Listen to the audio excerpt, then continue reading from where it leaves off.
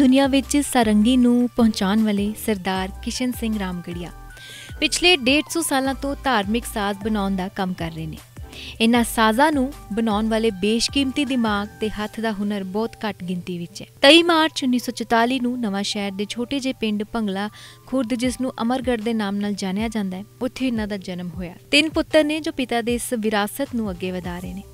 ਕਿਸ਼ਨ ਸਿੰਘ 12 ਤੋਂ 15 ਕਿਸਮ ਦੇ ਸਾਜ਼ ਬਣਾਉਂਦੇ ਨੇ, ਜਿਸ ਵਿੱਚ ਸਰੰਗੀ ਦੋ ਸਰੰਗੀ ਜੂੜੇ ਵਾਲੀ, ਸਰੰਗੀ ਕਲਾਸੀਕਲ ਸਰੰਗੀ ਢਾਡੀਆਂ ਵਾਲੀ, ਅਫਗਾਨੀ ਰਕਾਬ, ਤੀਜੀ ਪਾਤਸ਼ਾਹੀ ਦੇ ਸਮੇਂ ਦਾ ਸਰਾਂਦਾ, ਭਾਈ ਮਰਦਾਨਾ ਜੀ ਦੇ ਸਮੇਂ ਦਾ ਰਬਾਬ ਸ਼ਾਮਲ ਨੇ। ਡੇਢ ਕੁ ਸੌ ਸਾਲ ਹੋ ਗਿਆ ਇਸ ਕੰਮ ਨੂੰ ਸ਼ੁਰੂ ਹੋਏ ਨੂੰ।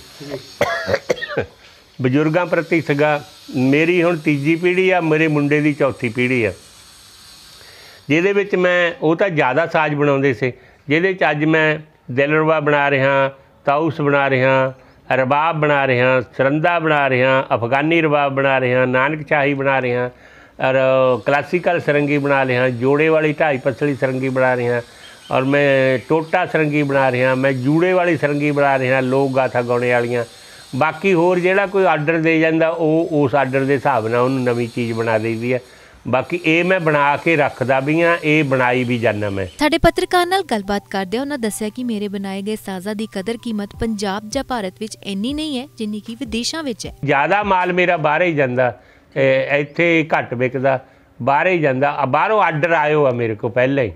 ਮੈਨੂੰ ਇੰਨੀਆਂ ਸਰੰਗੀਆਂ ਮੈਨੂੰ ਇੰਨੀਆਂ ਢੱਡਾਂ ਮੈਨੂੰ ਇੰਨੇ ਤਾਊਸ ਦਿਲ ਰਵੇ ਰਬਾਬ ਇੰਨੇ ਇੰਨੇ ਦਿਓ ਬਣਾ ਕੇ ਤਾਂ ਫਿਰ ਉਹ ਮੈਂ ਹੁਣ ਬਣਾਉਣਾ ਇਹ। ਪਰ ਇੰਨਾ ਹੁਨਰ ਹੋਣ ਦੇ ਬਾਵਜੂਦ ਵੀ ਸਰਕਾਰ ਵੱਲੋਂ ਇੰਨੇ ਮਹਾਨ ਕਾਰੀਗਰ ਦੀ ਕੋਈ ਵੀ ਮਾਲੀ ਸਹਾਇਤਾ ਨਹੀਂ ਕੀਤੀ ਗਈ।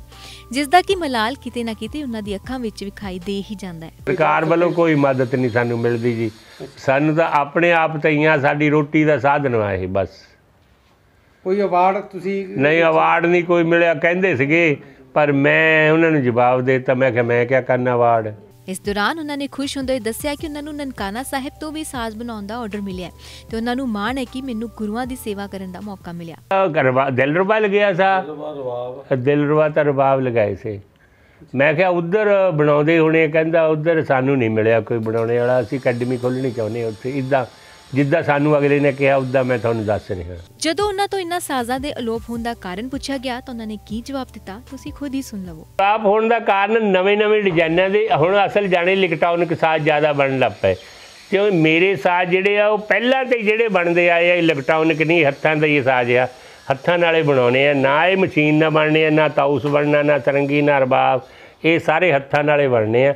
ਇਲੈਕਟ੍ਰੋਨਿਕ ਤਾਂ ਇੱਕ ਬਕਸਾ ਜਿਹਾ ਬਣਾ ਦਿੰਦੇ ਉਹ ਚ ਉਹਦਾ ਤੇ ਨਿਊਜ਼ ਭਰ ਦਿੰਦੇ ਆ। ਉਹ ਤਾਂ ਅਸਾਜ ਜਿਹੜੇ ਆ ਮਗਰ ਮੈਂ ਅਸਲੀਅਤ ਜਿਹੜੇ ਪਹਿਲਾਂ ਤੇ ਬਣਦੇ ਉਹ ਬਣਾਉਣਾ ਹੈ। ਨਾਲ ਹੀ ਨਾਲ ਉਹਨਾਂ ਨੇ ਅੱਜ ਦੀ ਨੌਜਵਾਨ ਪੀੜ੍ਹੀ ਨੂੰ ਇਹ ਸੰਦੇਸ਼ ਵੀ ਦਿੱਤਾ। ਜੇ ਬਹੁਤਾ ਹੀ ਤੁਸੀਂ ਜ਼ਿਆਦਾ ਹੀ ਨੇਰ ਆਇਆ ਤੁਹਾਨੂੰ ਤਾਂ ਮੇਰੇ ਸਾਜ ਲੈ ਕੇ ਕੁਦਰਤ ਦਾ ਕੀਰਤਨ ਕਰੋ ਰੱਬ ਨਾਲ ਜੁੜੋ ਮਾਂ-ਬਾਪ ਦੀ ਸੇਵਾ ਕਰੋ ਭੈਣਾ ਭਾਈਆਂ ਨਾਲ ਪਿਆਰ ਕਰੋ ਅਜਾਈ ਆਪਣੀ ਜ਼ਿੰਦਗੀ ਨਾਲ ਨਸ਼ਿਆਂ 'ਚ ਗਵਾਓ ਬਸ ਮੇਰਾ ਸੰਜਾ ਇਹੀ ਸੰਦੇਸ਼ ਹੈ। ਇਸ ਤੋਂ ਇਲਾਵਾ ਉਹਨਾਂ ਕਿਹਾ ਕਿ ਉਹ ਆਪਣੇ ਆਖਰੀ ਸਾਹ ਤੱਕ ਆਪਣੇ ਇਤਿਹਾਸ, ਸੰਸਕ੍ਰਿਤੀ ਤੇ ਵਿਰਾਸਤ ਨੂੰ ਬਚਾਉਣ ਲਈ ਕੰਮ ਕਰਦੇ ਰਹਿਣਗੇ। ਇਹੋ ਜਿਹੇ ਮਹਾਨ ਕਾਰੀਗਰ ਨੂੰ ਡੇਲੀ ਪੋਸਟ ਵੱਲੋਂ ਸਲਾਮ। ਨਵਾਂ ਸ਼ਹਿਰ ਤੋਂ ਸੁਖਜਿੰਦਰ ਸੁਖਾ ਦੀ report daily post Punjabi. Canada SDS ਪ੍ਰਣਾਲੀ ਦੇ ਅੰਦਰ 1 ਸਾਲ ਦੀ ਫੀਸ 1 ਸਾਲ ਦੀ ਜੀਆਈਸੀ ਅਤੇ ਆਇਲਸ ਵਿੱਚ 6 ਈਚ ਬੈਂਡ ਹੁਣ ਲਾਜ਼ਮੀ ਕਰ ਦਿੱਤੇ ਗਏ ਹਨ। ਸੋ ਜੇ ਤੁਸੀਂ ਸਪਟੈਂਬਰ ਐਸਡੀਐਸ ਸਕੀਮ ਤਹਿਤ ਅਪਲਾਈ ਕਰਨਾ ਚਾਹੁੰਦੇ ਹੋ, ਅੱਜ ਹੀ ਕੰਟੈਕਟ ਕਰੋ। 92563 92563